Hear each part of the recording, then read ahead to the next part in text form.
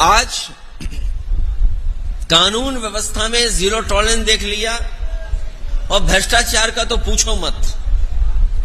पहले तो अधिकारी दो हज़ार रुपए मांग लेते थे, इस सरकार ने दो हज़ार रुपए बंद कर दिए। अब वो पाँच सौ के रुपए ज़्यादा मांग रहे हैं। कोई तहसील, थाना नहीं बचा है जहाँ पर भ्रष्टाचार न बढ़ गया हो।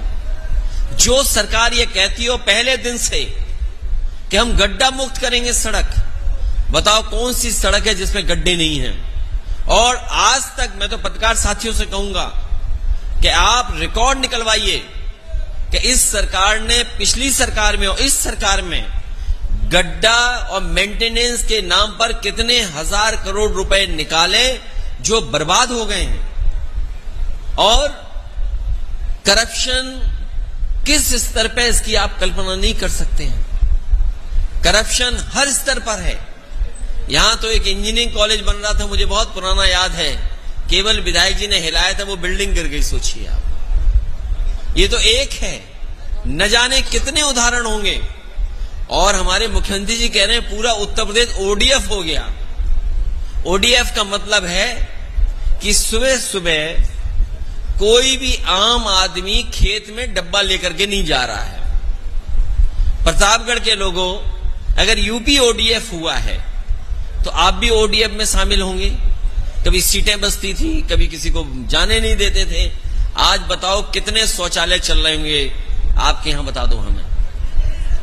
अगर एक भी शौचालय चल रहा हो, और हमारे समाजवादियों के समर्थक प्रधानों पर जाँच के बाद जाँच, फिर जाँच। लखनऊ में तो बड़े बड़े आयोजन हुए थे। आयोजन हुए कि इन्वेस्टमेंट मीट हुई, जिसमें यह बताया गया कि लाखों करोड़ आ रहे हैं। हमें बताओ प्रतापगढ़ के लोगों, वो कहावत मैं नहीं कहूँगा जो मुख्यमंत्री जी ने कहावत प्रतापगढ़ के लिए कही। वो तो मैं कभी नहीं कह सकता। लेकिन अगर एक भी कारखाना इंडस्ट्री लगी हो तो बता दो। समाजवादियों के समय पर जो सबस्टेशन बने थे, मुझे याद है यहाँ की राजनीति को मैं समझता हूँ।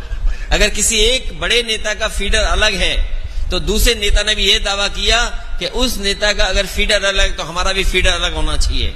हमारे भी पुलिस का सर्कल अलग होना चाहिए। मैंने सबका स्वीकार किया। चाहे मुझे फीडर अलग करना पड़ा, चाहे मुझे सब स्टेशन ज़्यादा देने पड़े हो, चाहे इंजीनियरिंग कॉलेज देना पड़ा हो, चाहे सड़क दोबारा बनानी पड़ी हो, पुल देना पड़ा हो। और एक बार तो ऐसा कंपटीशन हो गया कि अगर एक ने ट्रॉमा सेंटर मांगा तो दूसरे ने कहा कि हमारे यहाँ भी ट्रैफ़िक तेज एक्सीडेंट होते हैं। तो हमने उनके कहने से भी ट्रॉमा सेंटर दे दिया। तीसरे आए हमारे साथ थे। उन्होंने कहा कि हमें भी ट्रॉमा सेंटर चाहिए। हमने उन्हें भी ट्रॉमा सेंटर दे दिया।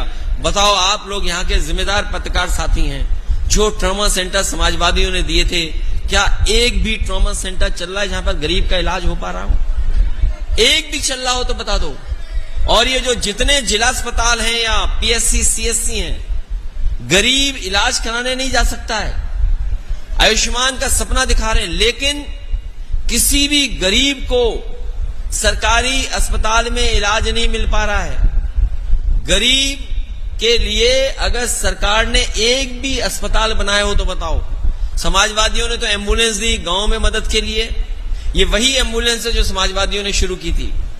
ये जो पुलिस को गाड़ियाँ आपको दिखाई दे रही हैं, जो सौ की एक सौ बारह हो गई, ये भी समाजवादियों की देन है।